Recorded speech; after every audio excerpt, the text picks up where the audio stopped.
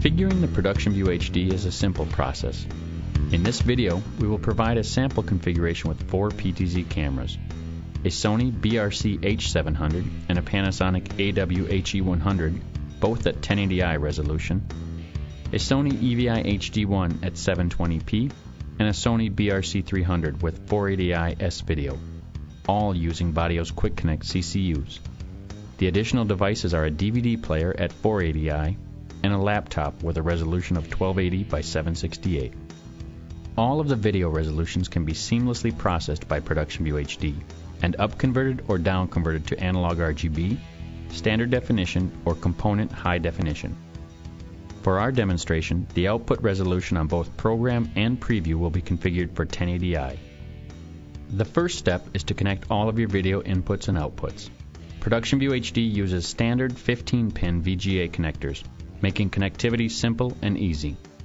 For component HD video, Vaddio offers two 15-pin to component video adapter cables in either 3-foot or 6-foot lengths.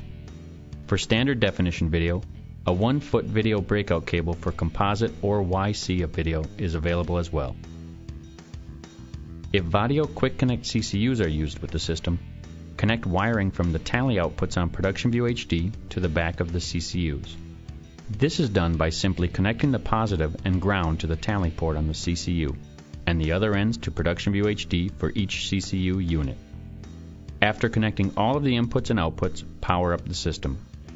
After initializing, a menu will appear on the screen.